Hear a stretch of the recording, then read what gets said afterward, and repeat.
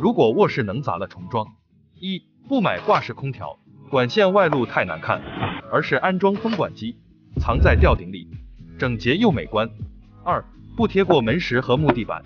小气难打理，而是瓷砖通铺，好打理更大气；三、不做定制衣柜，甲醛高价格高，而是装金属衣架，省钱环保还能挂，安装推拉门，简洁不落灰；四、床头要装吸音板，降低噪音的打扰。五、床头不做软包，而是做木饰面，床尾过道更宽敞。六、不做塑料踢脚线，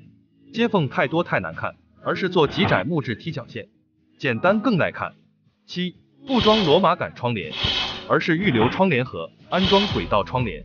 记得预留插座，方便改装电动窗帘。八、床尾刷个大白墙，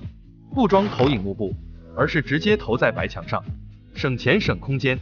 九、吊顶不做石膏线，而是做双眼皮吊顶，简约又时尚。十、插座不要装太低，容易被床头柜挡住，要高于台面，使用才方便。进入主页查看更多装修合集。